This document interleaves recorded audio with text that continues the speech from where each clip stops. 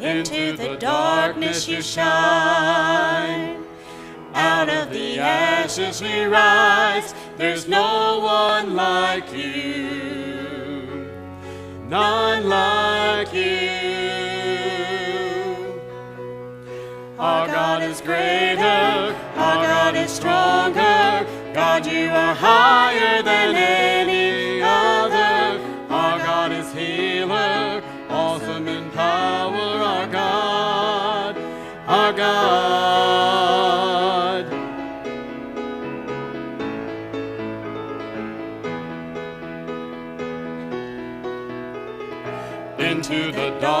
darkness you shine. Out of the ashes we rise. There's no one like you. None like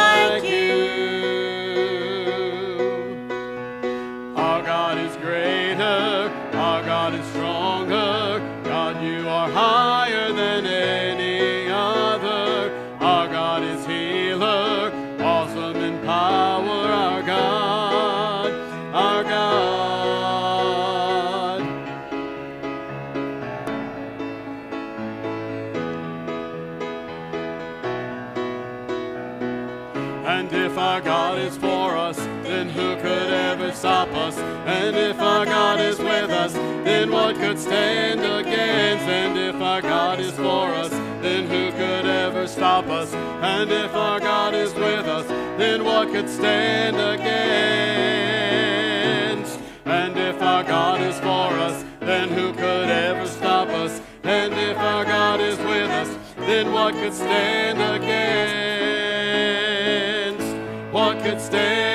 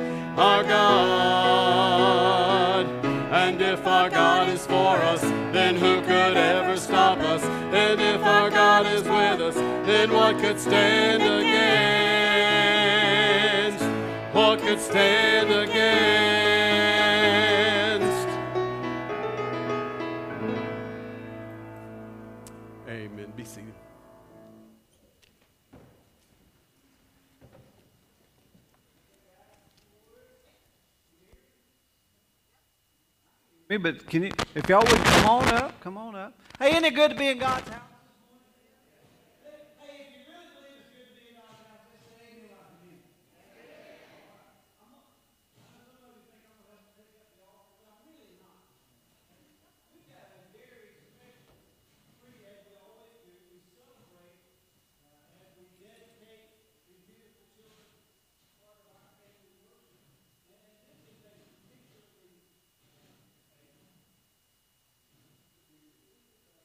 Particularly blessed day for me because you want to say a few words? It'd be easier.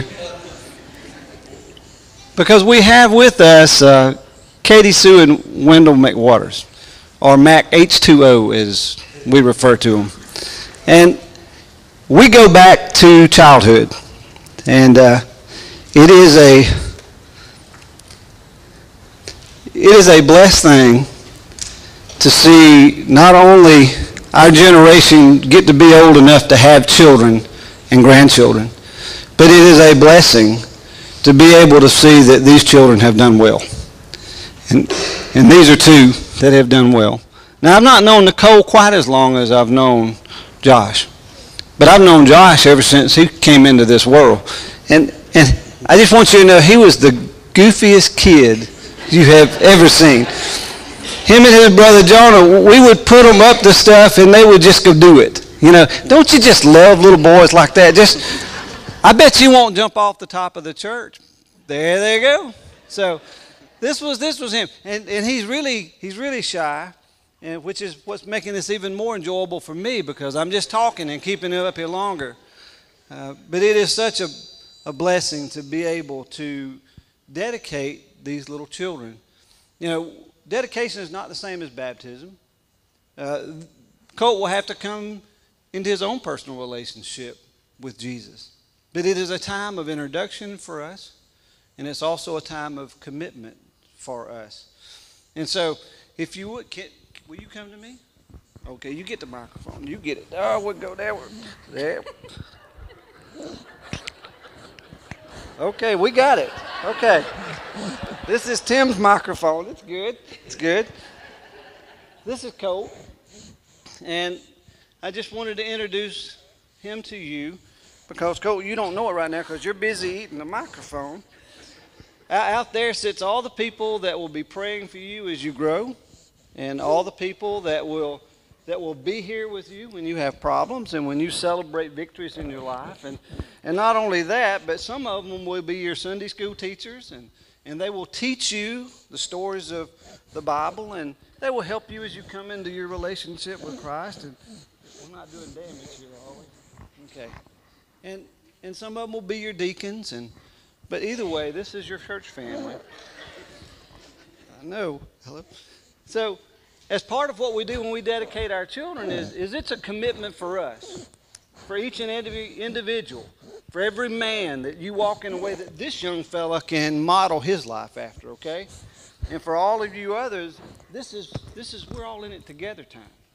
But it's also a time when we ask for a commitment on the part of our family do you commit as the head of your household that you will lead your family in a godly way, that will lead them straight to the throne, to the very feet of Jesus as they come into a saving knowledge? You, you promise to do that, the head of the home, and you promise as his helper in this process, as mom, to do that because that's so huge. Just a moment, we're going to pray, but I also want to, I also want to say something else. This is a day that I'm particularly proud for because this young family is formally moving their membership to be part of our church family. Isn't that great? Amen. Give them a hand. There you go.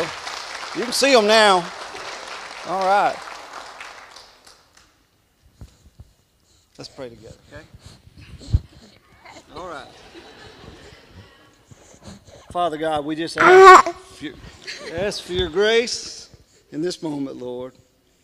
Father, you have blessed this church, this family, in so many ways. You've blessed them with beautiful children. We pray over them. We dedicate them now. We dedicate ourselves to being faithful to your word, to teach the truth. And we also pray over this family as they dedicate themselves to live in such a way that there is only one possibility, and that is for these dear precious children to come to a saving relationship, a growing and maturing relationship in Christ. We just pray now that you give us strength and give us courage. In Jesus' name, amen. Amen. All right.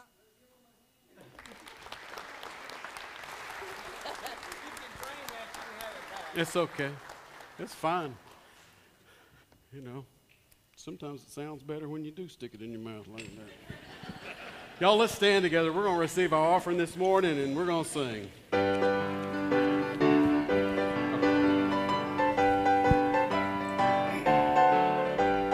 What can wash away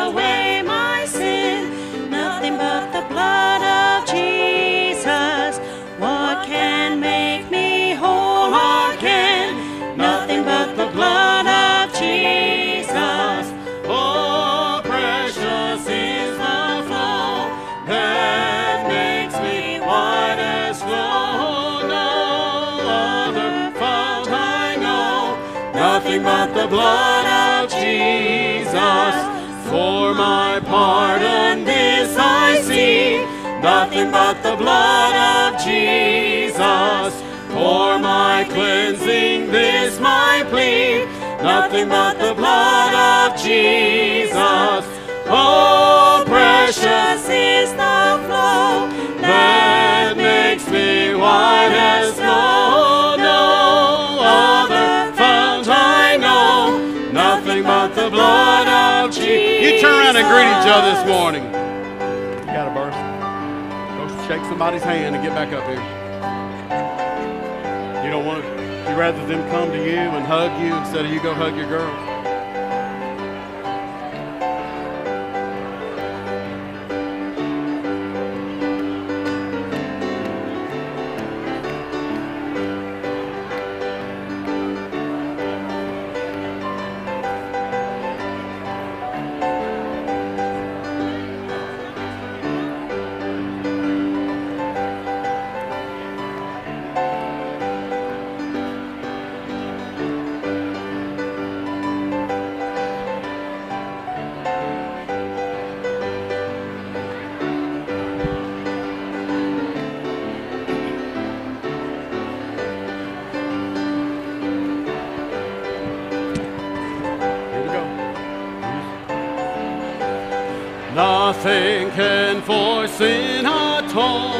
Nothing but the blood of Jesus.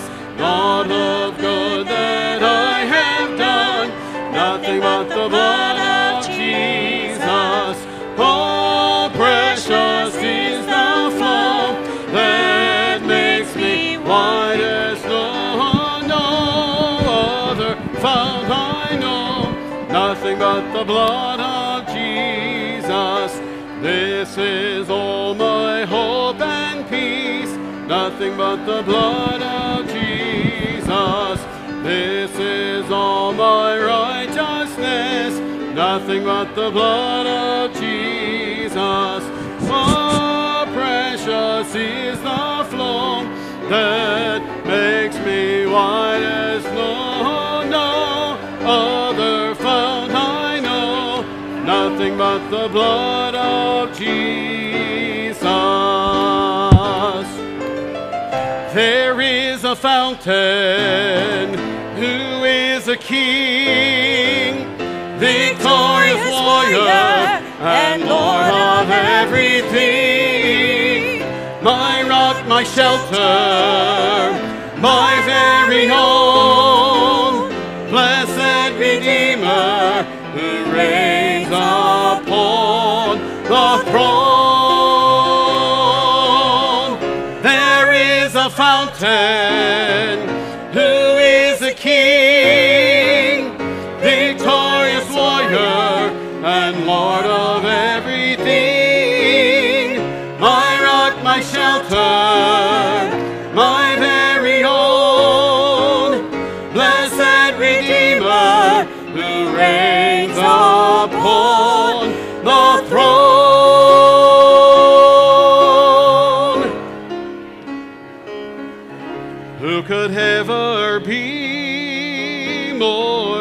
Faithful and true? Lord Jesus, Lord Jesus, Lord Jesus, none but you. There is a fountain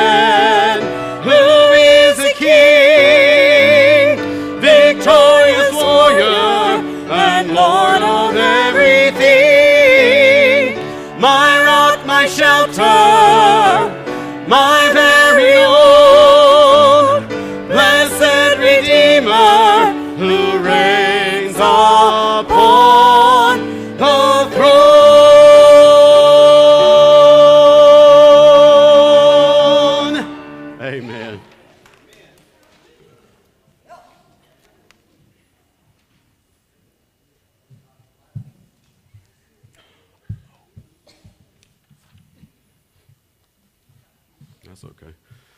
Jonathan just changed the order of service. That's okay.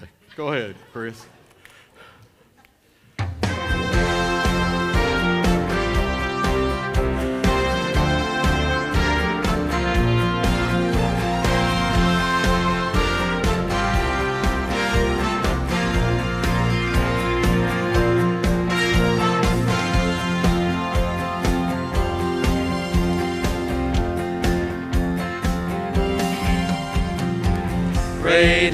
Thy faithfulness, O God.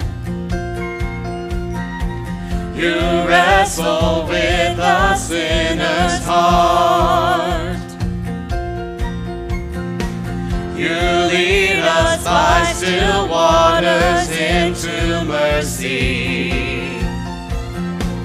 And nothing can keep us apart. So remember your people, remember your children, remember your promise, oh God. Your grace is enough. Your grace is enough. Your grace is enough for me.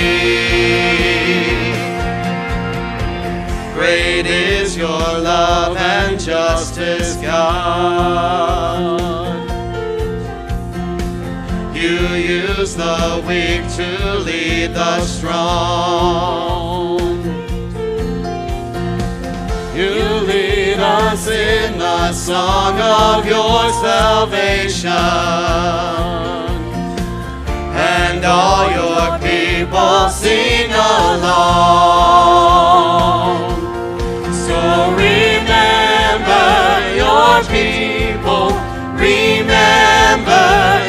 children, remember your promise, oh God. Your grace is enough. Your grace is enough. Your grace is enough for me. Your grace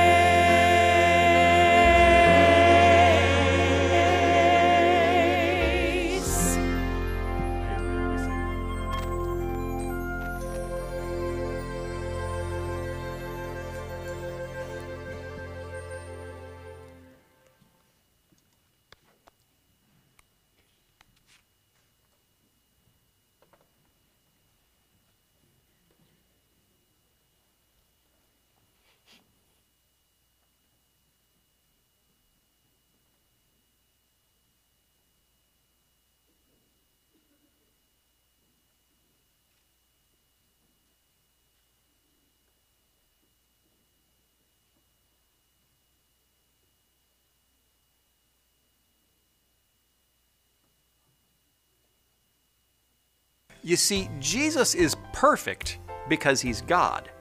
We can't be perfect because we aren't God, but we can become more and more like Jesus every day. It's a process and it has a special name.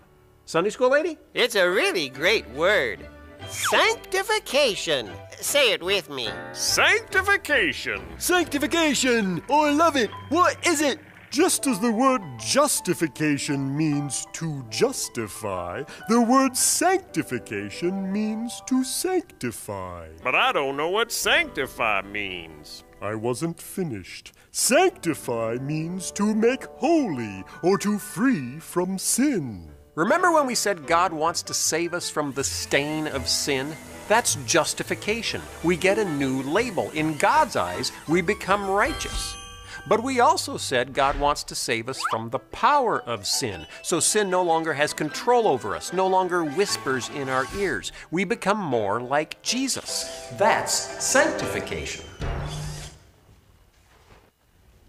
Before Michael picked that, can y'all hear me?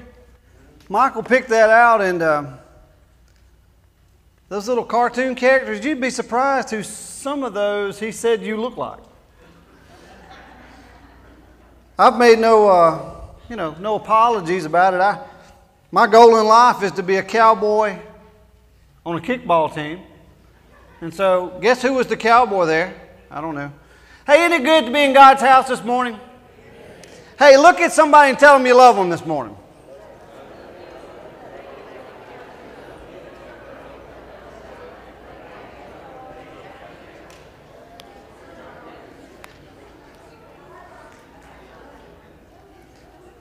Now just, now just look at somebody else and say, We've got the prettiest babies in the whole world in this church.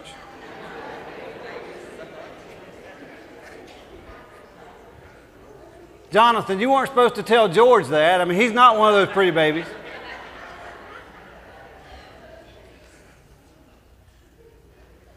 I asked Colt if he had anything else he wanted to say. We might bring him back up here in just a few minutes. He was doing so good a while ago. You know, the last time I lost my glasses, this time I just lost the microphone. I feel pretty fortunate today. I mean, you know what I'm saying? Hey, isn't it great to have baby dedication? Isn't it? I love it. I love it. And, and what I like more than anything else is seeing how these little kids do as they grow up and seeing how they, how they finish well. It's just a cool thing. And I was thinking, you know, I can't help but get a little bit emotional about, about especially with, with Josh because Josh was that quiet kid. You know, he's, really, he's talkative now. I mean, you know, he's talkative now. And I thought, well, you know, the boy's never going to have a girlfriend because he's never going to ask anybody out. But I would say that the boy outpunted his coverage in Nicole, wouldn't you? I mean, really. You know, you need to put an extra 10 spot in the offering plate just to thank God. I mean, you know, so it's good to see you this morning. We are going through the blessings of the believer, and, and we have, we've talked about a great many things. This morning, uh, we're going to be talking about sanctification, obviously, but but back in the day, when we had problems, we had people we could go to to help us figure things out. Now, when I say back in the day, you, you know what that means, right? That, that means if you're old, you're going to remember, you're going to know who I'm talking about here, okay? So back in the day is just that kind of code word for old people understand and young people are going to go, what's he talking about?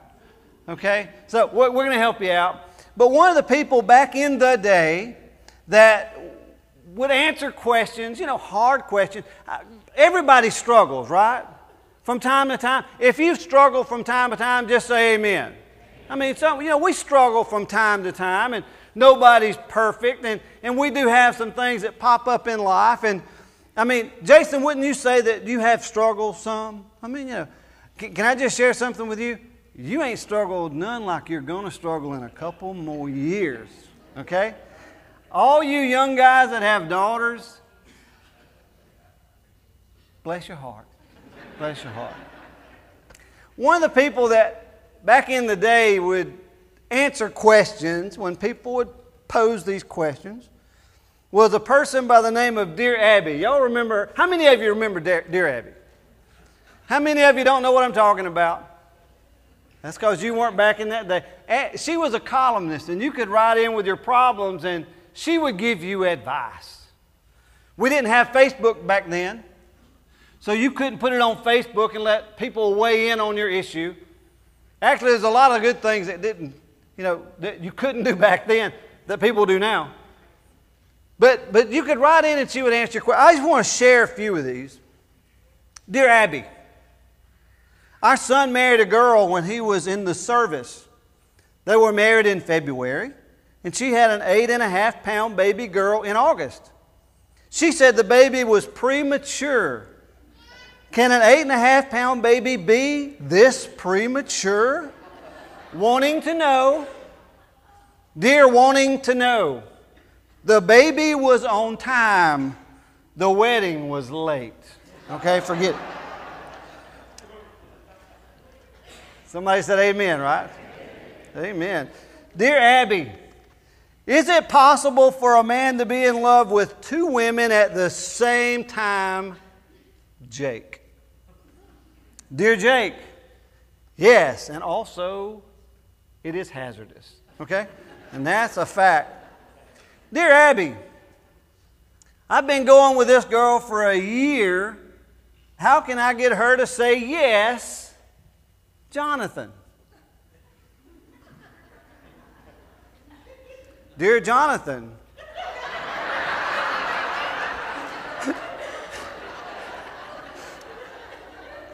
Dear Jonathan, what's the question? I mean, you know, for all you visiting, just don't, you know, you don't. But, but Jonathan, it was, it was like watching a 2,700 episode television show. Will Jonathan ever ask Ashley to marry him? That- but she did. He did. And she did say yes, and we're thankful for that. We're thankful for that. Ashley just took a new teaching position, and she's in North Alabama. And I'm telling you, my heart's already broken because it is just going to be hard, hard, hard uh, not, to, not to look forward to seeing Ashley every Sunday. I hope she gets to come most Sundays. And uh, to celebrate her taking this new job, Jonathan got him a new hairdo, and I, I kind of like that. It, it's kind of spiky. All right, back to, back to Dear Abby. Back to Dear Abby. I mean, this is good stuff. Dear Abby, what's the difference between a wife and a mistress, Bess? Dear Bess, night and day.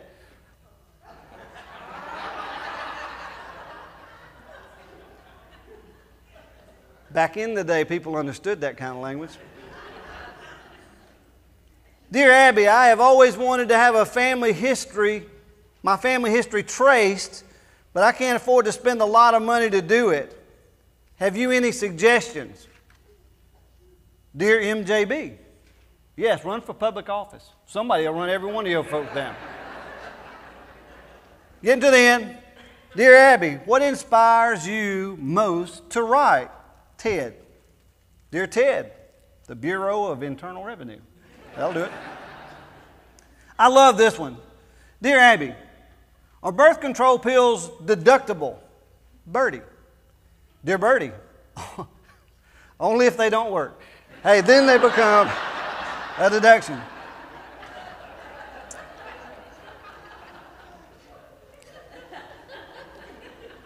You got that, didn't you? Yeah, you will get that one. Dear Abby, I know boys will be boys, but my boy is 73 and he's still chasing women. Any suggestions, Annie? Dear Annie, don't worry. My dog's been chasing cars for years, but if you ever caught one, he wouldn't know what to do with it. All right. And I love this guy, this guy. I like this guy because he's like me.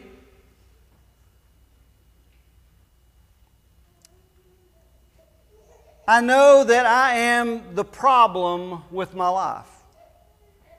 I am all too human. I am a slave to my own desires. I don't really understand myself. I want to do right, but I don't. Instead, I do what I hate. I know that nothing good lives in me. I want to do right, but I can't. I want to do good, but I don't. There seems to be this war going on in me constantly. What a miserable person I am. What is wrong with me? Who can free me from this kind of life? Now, now hold up. I, I, I'm sure that some of you have already figured out that wasn't a letter to dear Abby.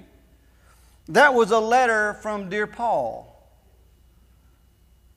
If you would join me just for a second in Romans chapter 7. I'm not going to read the whole thing, but he's speaking of himself. And that's where we're going today.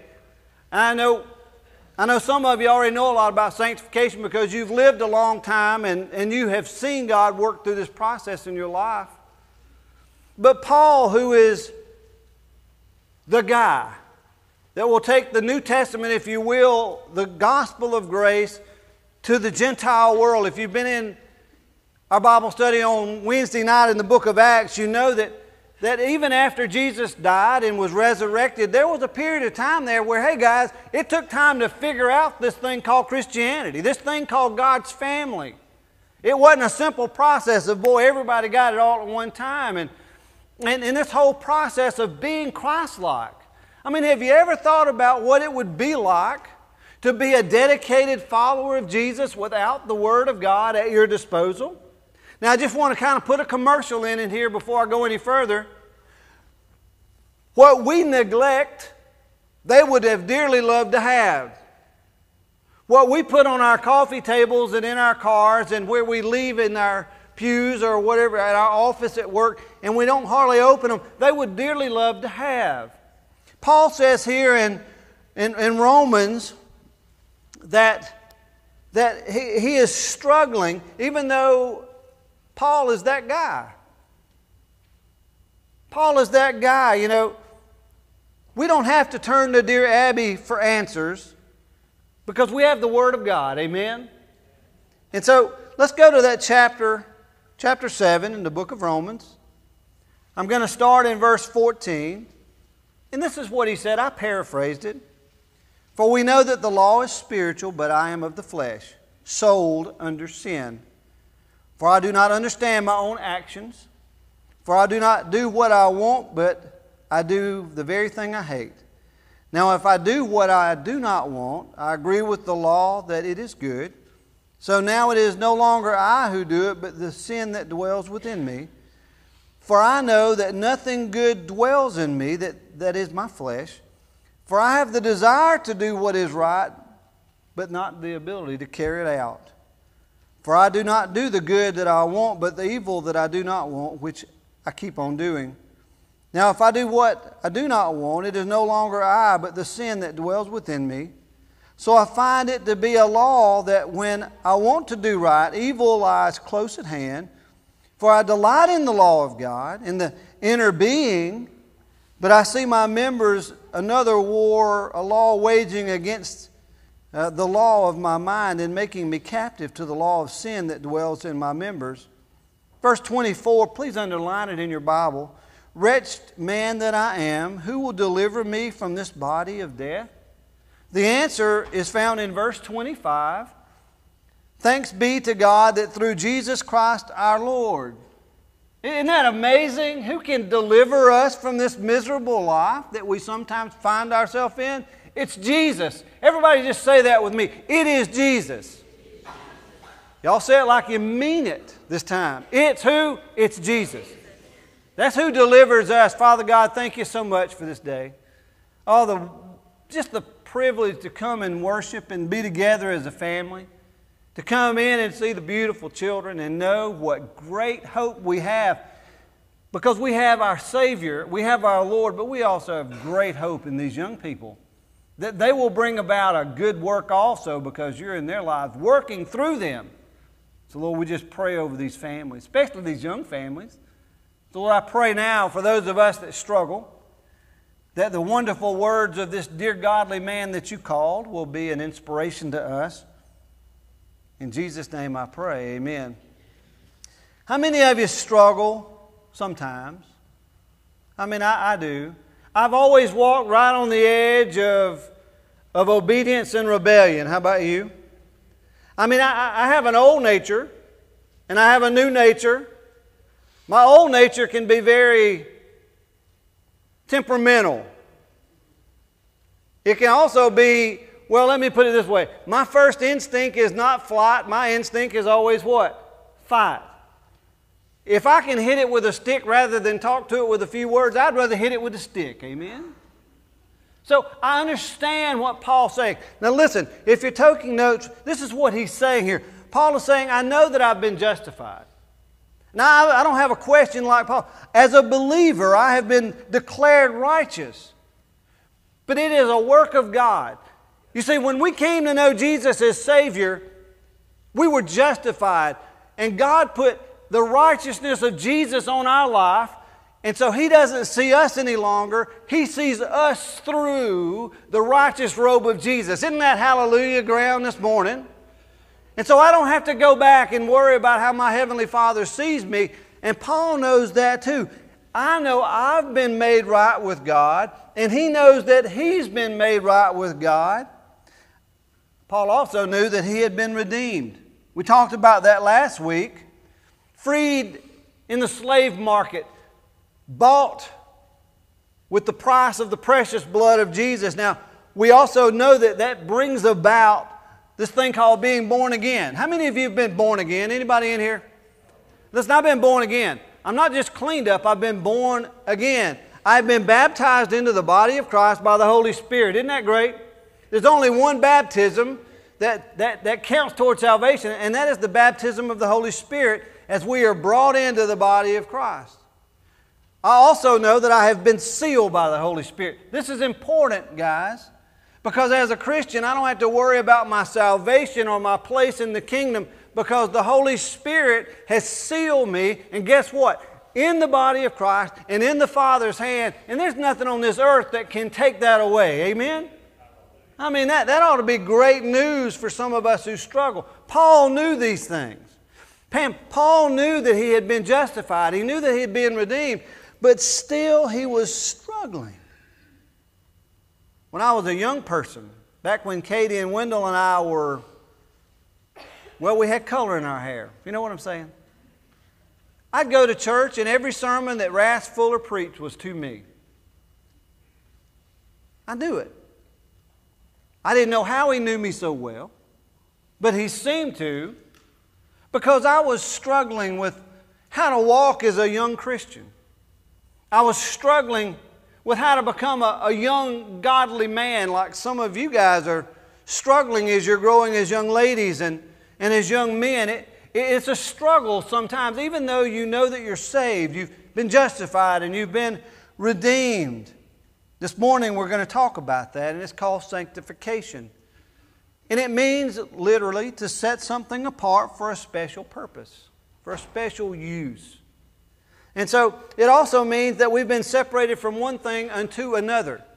Now, I'm going to you know, kind of help you here. When you were born again, when you were brought into the body of Christ, when you were saved, we use those words, you, you were moved from the world into the body of Christ. It wasn't that you had to work your way into this position, you were put in this position by a holy, loving God. And so you went from here to here, and that's what the word sanctify literally means. When we hear the word saint, we tend to think about people with halos. How many of you, when you think about the word saint, you immediately think of someone other than yourself? Anybody in here? How many of you, when you hear the word saint, immediately think about me? Anybody in here? Get Colt back up here. Where's Colt? Saint doesn't mean that you're perfect. Saint just means that you have been separated from this unto this. You've literally been separated from the kingdom of darkness to the kingdom of light for a purpose.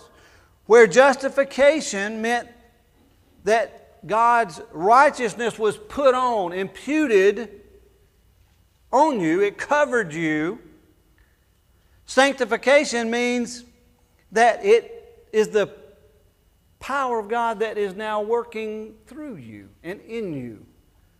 to all man. It is that righteousness that comes out as we grow in our faith. Now, you don't have to turn to all these, but if you want to write these down, 1 Thessalonians chapter 4, verse 3 tells us that sanctification is the will that God has for every believer.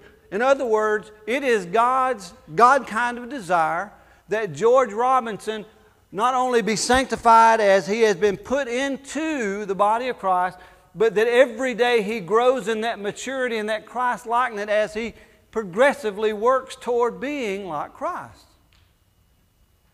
And, and I, know, I know that seems kind of hard to understand sometimes that we don't have to work for our salvation, but because of our salvation, there's a tremendous work in our life. And we continue to grow. So, to sanctify a person is to make him holy as God sees it. He has been set apart for God. that's, a, that's a tremendous thing. You see, just like when we bring these little babies up here and say, okay, church, are you willing? Are you going to give your word that you will do everything in your power to see these young people come to a saving knowledge personally with Jesus? That, that's a task that we do. Are y'all with me? It's what we do. Everything we do should lead them to Jesus and never away from Jesus. It is a work that the parents do to paint such a picture in their life that it is as natural as breathing air that that young child comes to know Jesus as Savior. Listen, it ought to be easy for a young people in this church to come to know Jesus. Amen? I mean, they ought to hear it in their home. And they ought to see it in this church, and they're taught it, and they hear it from the pulpit in a way that they can understand it. And that's why we have so many young people coming to that relationship with Christ. It's important that we understand that it is God's will for us as believers to be holy. Now, if you would join me in John chapter 17. This is going to be kind of like a Bible drill. Jesus knew this wasn't going to be easy. As Jesus neared the end of his earthly ministry, he began to pray for those that he loved. Now, let me stop there just a minute while you're still getting to John. How many of you believe it's important to pray for those people that you love?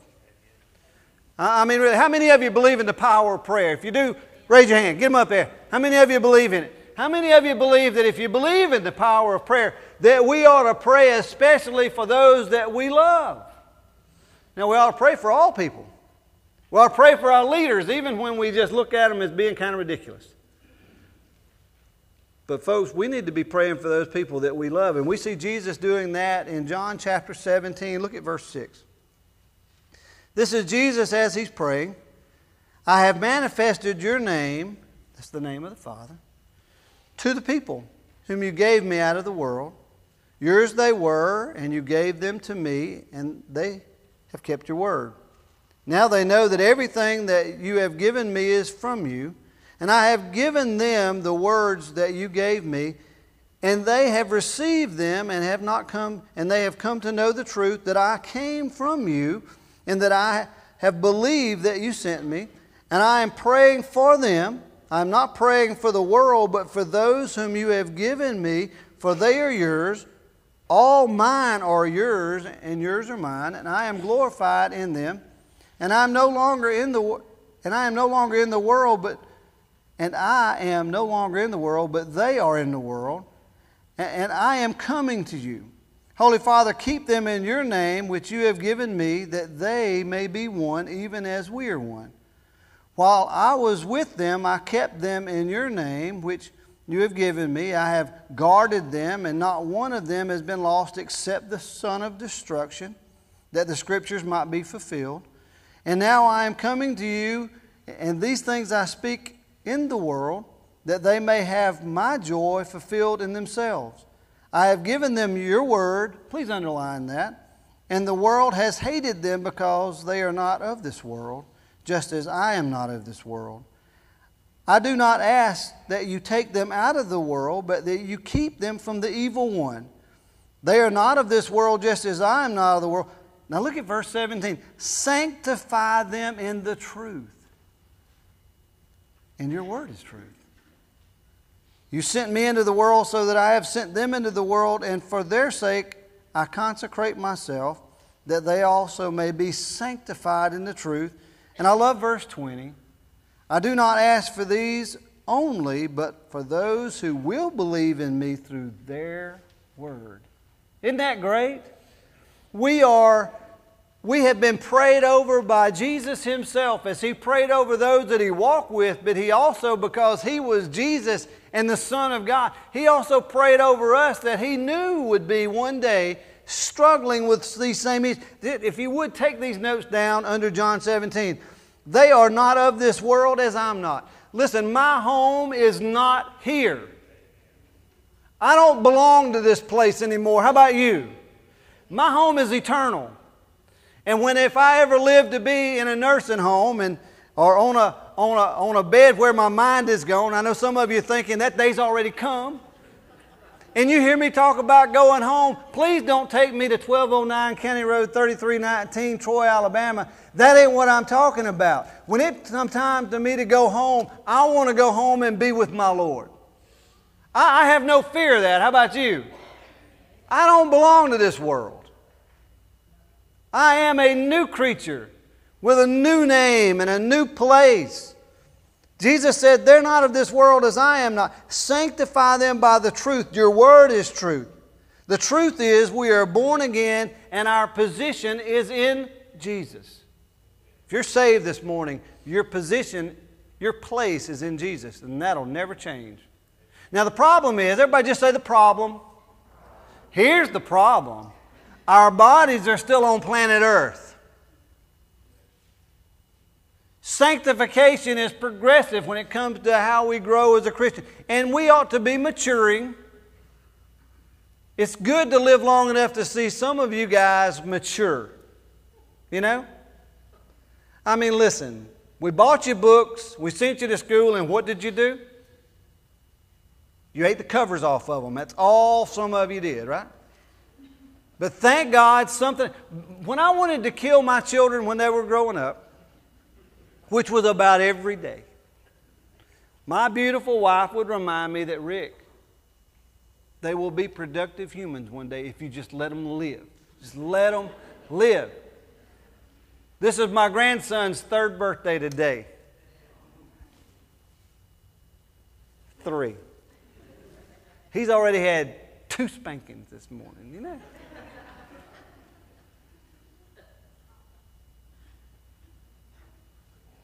We got to talk about that. talk to him. We're on the same plan. We're to grow up in the Lord.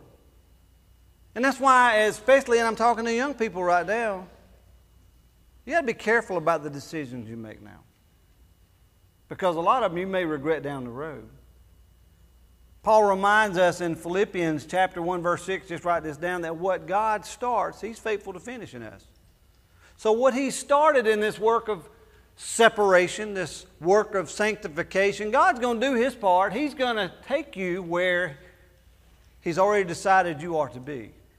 Now there's a because it is progressive, there's this part that we have to be involved in. That, that's really the heart of where I want us to, to look at for just real quickly this morning. First, and there's only three of these. First one is this it is impossible in the power of the flesh to live a life that's pleasing to God. How many of you that have gotten old enough to figure out that it, it is impossible to live the Christian life by your own strength? Anybody in here? How many of you, it was a great day when you realized that the Holy Spirit really will come along and give you power to live your life if you are relying on the Holy Spirit of God.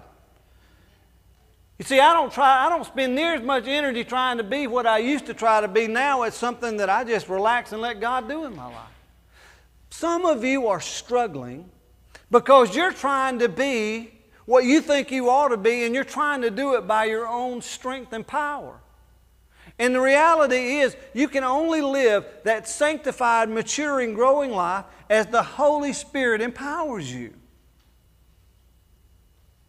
That's an amazing thing when you finally get that concept. That it's not all about what I can do, But because of that, you have a choice to make. And I know how many of you hate to make choices? Anybody in here? I can make a choice.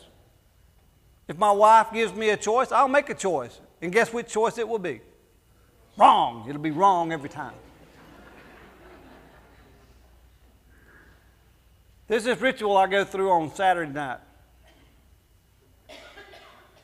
Hey, baby. I'm fixing, see, I, I get a lot more country when I'm at the house on Saturday nights. I'm fixing to do everything. I'm fixing to go in there and pick out something for tomorrow. What you think? Okay. I'll hang them on the baker's rack. And she will come around and go, You wore that last week. Or, Rick, those pants are blue.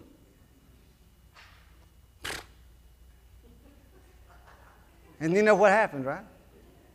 She takes them back in there and she gets me what she, why didn't she just do that to start with? Because given a choice, I'm going to make the wrong one 100% of the time when it comes to that. But in the Christian life, now listen, you're going to choose every day whether you're going to live in the power of your own flesh or you're going to choose to live in the power of the Holy Spirit. This is where the Word of God comes in. If you're struggling, then you need to spend more time in the Word of God. Amen? I mean, don't avoid it. Number two, the flesh and the spirit have nothing in common. Now, I, I, I want to be careful how I say this because I don't want to offend all of you. I just want to, well, I don't really care if I offend you. Not really. I mean, anyway. We've gotten to a place in our culture where we don't want the gospel to be offensive. We've gotten to a place in our culture where we want everything to be okay. You can live like you want, you can just do whatever you want, and as long as you shout and swing from the banisters, everything's going to be okay. Let me tell you, write it down, put it in the margin of your Bible. The flesh and the spirit have nothing in common. And that goes in our churches today. The Word of God is clear. Romans chapter 8, verse 13 says, For if you live according to the flesh, you will die. But if you live by the Spirit, you put the deeds of the flesh to death and you'll live. You'll decide every day whether you're going to live by the power of the flesh or by the power of the Holy Spirit. My prayer is that you live by the power of the Holy Spirit. Galatians chapter 5, verses 16 and 17, Paul says, But I say, walk by the Spirit, and you will not gratify the desires of the flesh. There is a very distinct line between what is fleshly and what is spiritual. And I don't care how popular it is today in our modern culture, church is supposed to be about the worship of a holy God by a determined group of people that want to be like Him and not be like the world. One of the little things I did back when I was having to be my own youth minister and pastor, y'all been in some of those churches, hadn't you? Is